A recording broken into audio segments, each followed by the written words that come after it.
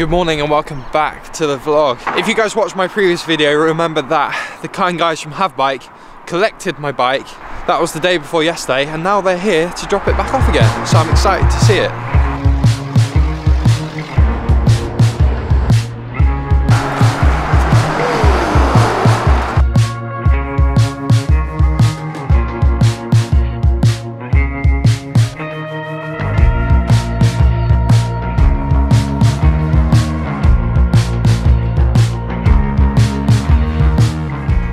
Is, looking fresh, good as new.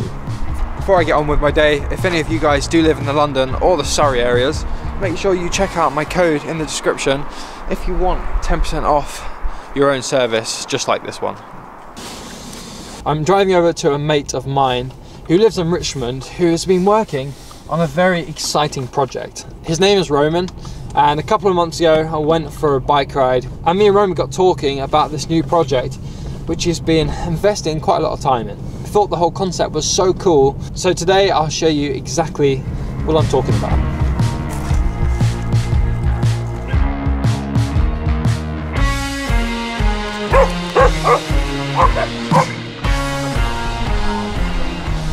Um, tell us about your bus sitting there pretty. This is our bus. Um, we bought it two months ago, all the way over from New York, fresh off the boat. But yeah, she's here and we're building it. Amazing. The idea originally came from we were on holiday in Italy and our children aren't the biggest fan of travelling. So we were like, oh God, what can we do to go on holiday? We saw a big motorhome. We are like, God, we should just get a motorhome. And then I started looking at motorhomes and they're pretty expensive. Yeah. Before I was researching one and saw a school bus and how somebody in America had kitted one out uh, and started travelling America in it.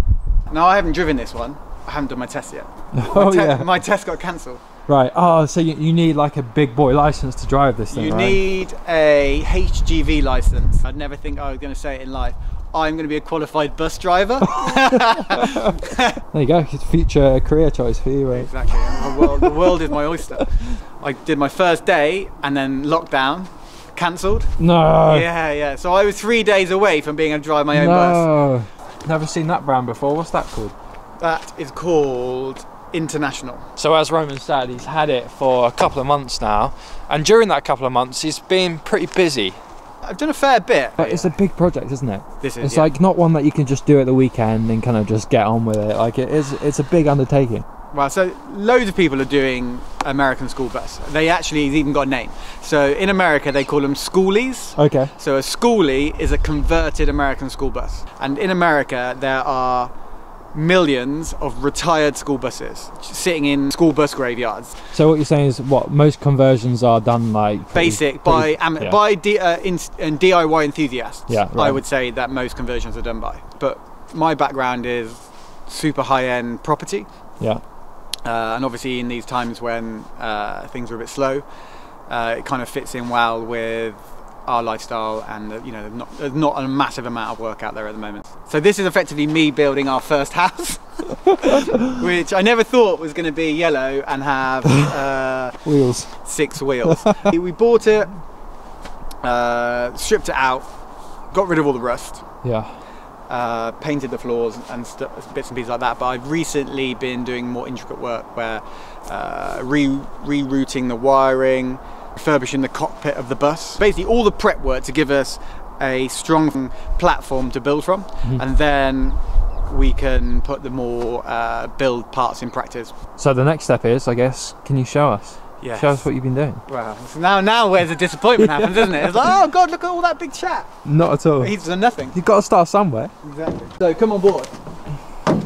I put new batteries in the other day, Yeah. and it's really, really cold, and I haven't started it Oh, I see. for a while. So this will be. Moment of truth. And then it says wait to start because uh, it's an old diesel engine, so it takes ages for the the diesel to warm up. Yeah. Here we go. We're off. Are you ready? Ready. Three, two, one.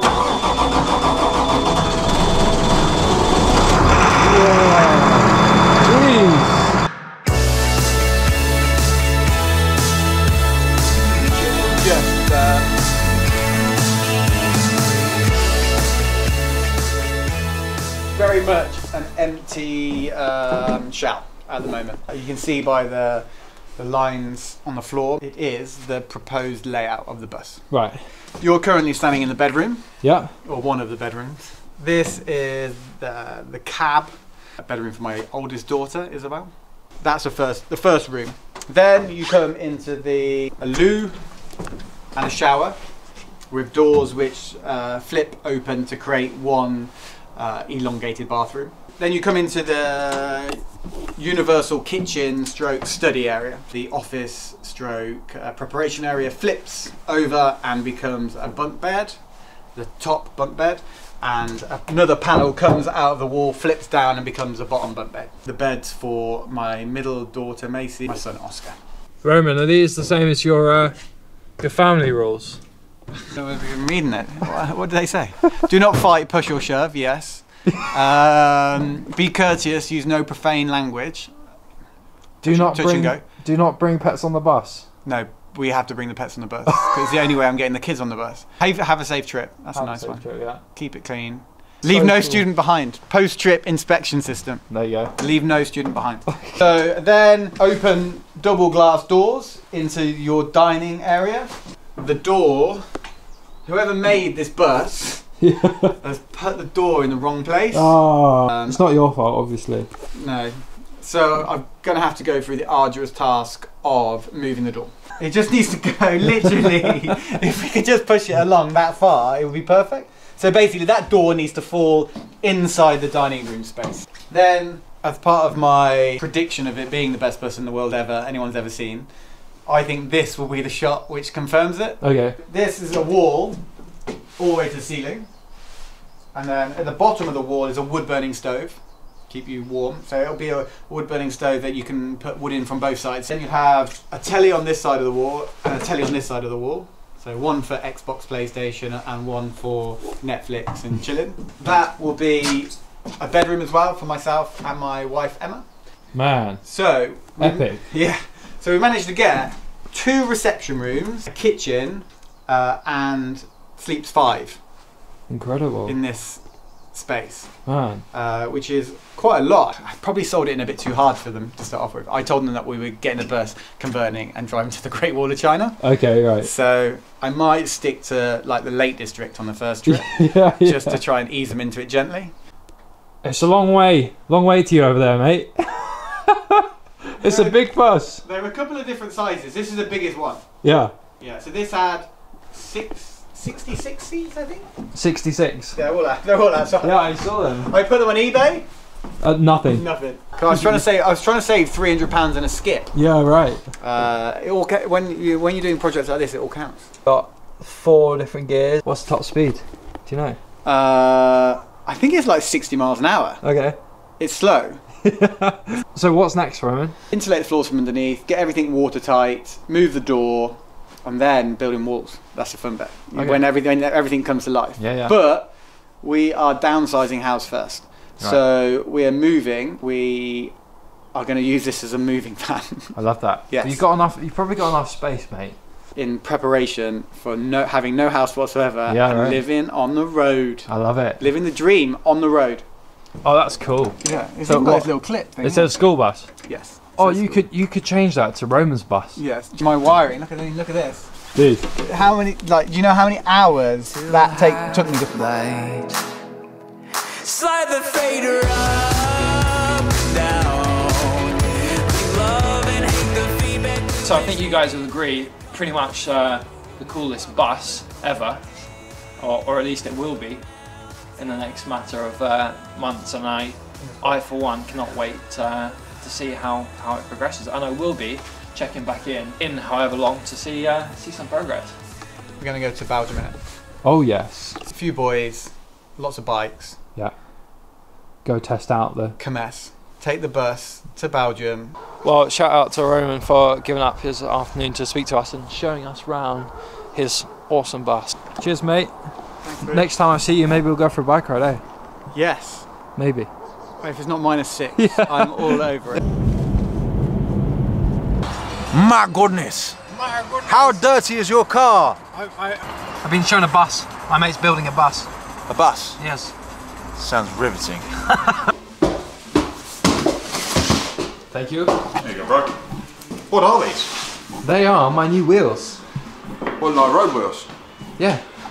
The lovely people at Park are giving you some. Yes, they have. I nice. cannot wait. I'm very, very excited to see what these Are look they, like. are they disc or? Uh, yes, this. So Yes. you got disc on your bike. Yes. So you're, you're you're not as good as Froome, so you, you like disc brakes. Is yes. that, is that right? I love my disc brakes. Ah. Whee. Oh, this is super rad, bro. Free pair of sunny cheese. No way. T-shirt here for you as well, bro. Wow. And another one. In fact, you get two T-shirts. It's double T-shirt day. We're going to be riding a bit more now. Mr. Franny Cade is gone, right? And you didn't have a gravel bike. And I didn't I'm, have a I'm gravel riding almost exclusively off-road at the moment. I can't wait to see all those trails that you guys have been. Uh, Well, what, what we've been riding is quite tame. Franny might have you believe otherwise, but we'll um, we'll go and do some, some proper mountain biking. I mean, I say proper mountain biking. Even Peaslake's pretty tame. You and I are both getting mountain bikes at the same sort of time. Exactly. So, so that, Exciting. that, that will be exciting. In, in mountain biking world, you must have a helmet that has a peak. it, it you also must have goggles, apparently. Uh, bro, I don't know, man. I think I'll be like the most roady mountain biker ever. You've ridden much off-road. Uh, Cyclocross does not count. yeah, so no then. Cyclocross in China doesn't count because it was just all dry dirt, wasn't it? It was, yeah. Dry pack. No. I remember, I remember watching that video and you've been on top of this thing going, oh my fucking god, how the hell do I get down that? So scary. You're right. Right, can't wait. Um, good to see you, bro. Sweet bro. See you soon. I sat and got my wheels, seen James. That's about it for today. I hope you guys uh, enjoyed this video, slightly different, and I didn't get a parking fine, so great success. Thank you guys for watching, and I'll see you on the next one. Cause Ciao. we need a soundtrack as we wander through the barren west. And we knew we weren't alone in this life.